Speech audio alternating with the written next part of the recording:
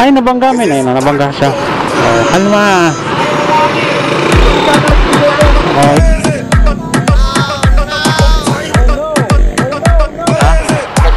Ah, out sa'yo, brother.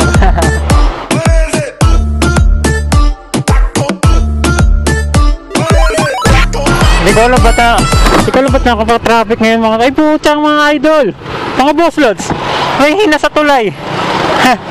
Oh, meron nga, meron nga sa tulay, marami, pero may gustong tumalon, men. Ayun yung nakaputi, masyadong, masyadong malayo lang ngayon mga lods, so yun.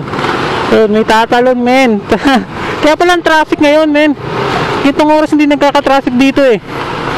Pero dahil nga yan, men, yan, may tatalon, men.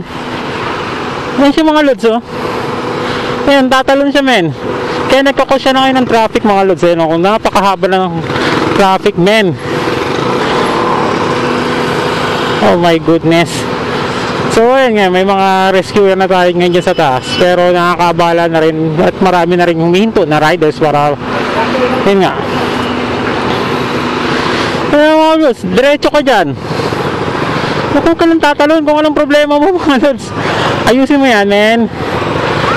Mahalaga ang buhay, boy. Ayan, yan. May square na tayo, no? At ayan na.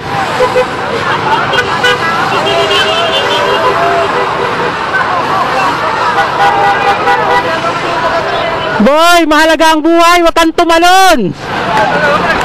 Boy, masarap mabuhay. Huwag kang tumalon, boy. Masarap mabuhay, men.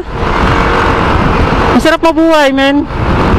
May pamilya ka, men. Masarap mabuhay.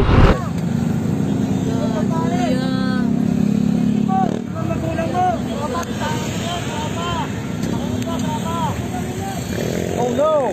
Oh no, no, no!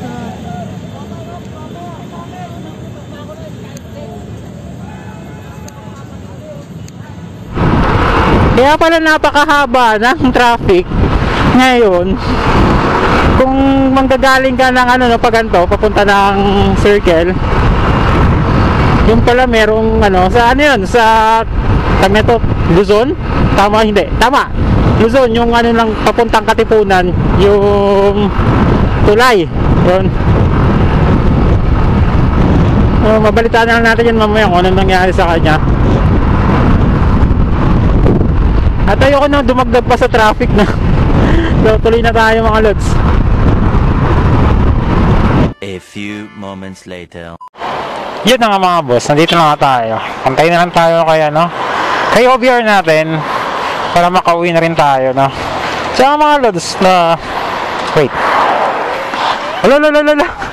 Todo siya. Yeah. Kita nyo mga lods. Ayun mga lods, ah, kakapalit lang na time ulit ng gulong, no? Ayan. Nagpalit ulit tayo ng mga gulong-gulong lods. Ang pinalit-ulit natin mga lods na gulong ay budget meal ulit. Tulad ng dati, kung makita nyo yung last video ko, ito yon. Yan. Ang pinalit natin ulit ay Shipa, syempre, budget meal ng mga lods.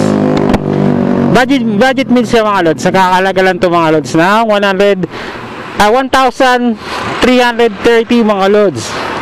Ayan, nagamit ko siya nung last time na Sifa ko rin. Sifa ay siguro kulang kulang 8 months na rin, no? Kasi yun naman talaga usually na months para magamit mo yung isang gulong sa araw-araw na gamitan, no?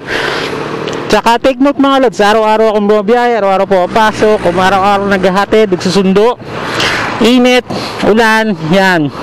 Kaya talagang araw-araw talaga, kaya napapasabak talaga araw-araw yan. So tumagal siya ng 8 months sa akin, not bad. Good na rin para sa tulong, no?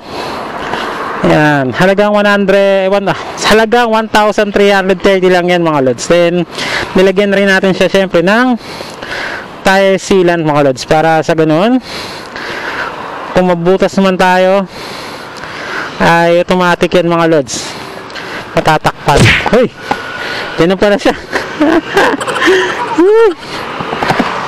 okay mayan na lang din mga lods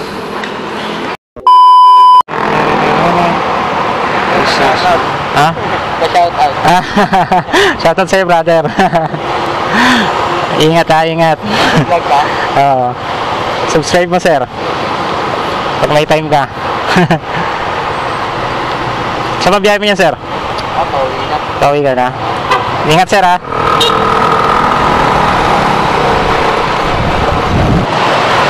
Bakit traffic din? Bakit traffic din naman dito? Hindi naman usual din traffic dito. ano ba nangyayari ngayon, men? Kanina may tumalon. May, may tumalon. Kanina may gustong tumalon. Ngayon ano ba? Anong meron? Aha, tingnan natin. Tingnan natin.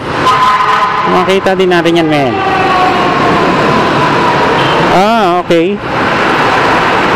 Okay. Mukhang... Anong meron?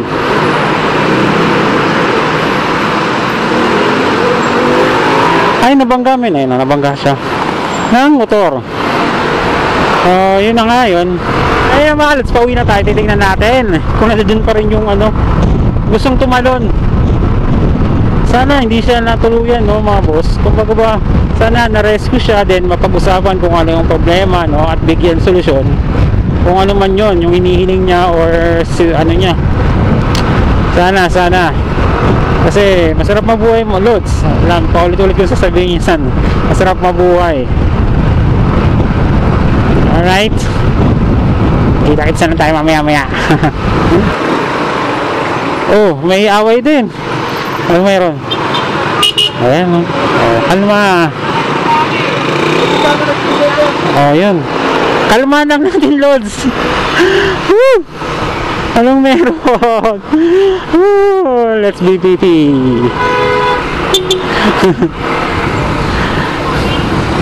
Kalmahan lang natin mga Lods, no? At nakabalik na nga tayo dito, no, mga Lods. Kung kanina may nag-attempt dyan, no, sa likod natin, dyan sa may... Oo nga eh. Ah, yun na nga. Mukhang nailigtas na siya, no? At sana nasa mabuti na siyang kalagayan. At huwag niya nang ulitin yun, mga Lods, kasi...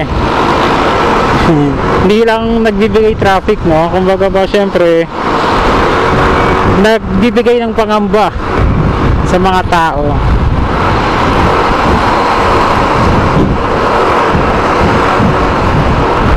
So yun ang mga lod, sana maging sana maging makabuluhan no yung mga buhay natin sa darating na panahon. Gabayan nawa tayo ng Panginoon sa mga desisyon natin gagawin.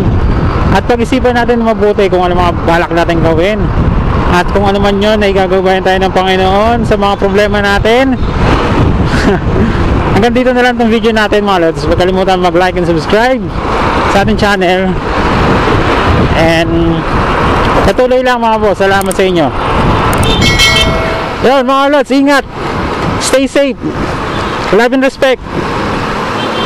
Peace. no, no.